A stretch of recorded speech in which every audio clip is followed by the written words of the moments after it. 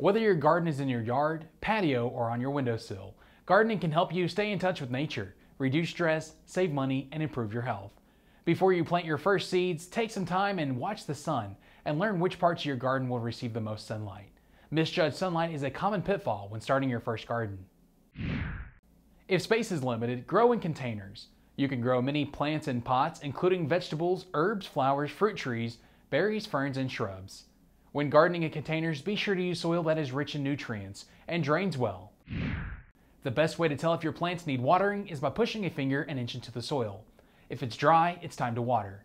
Be careful not to overwater. Stunted, slow growth, and yellowing leaves is a symptom of overwatering. If space isn't an issue, you can look into turning your space into a dream garden with an Arvest personal loan. Transform your front or backyard with intricate stones, outdoor string lights, flowers, fountains, and more.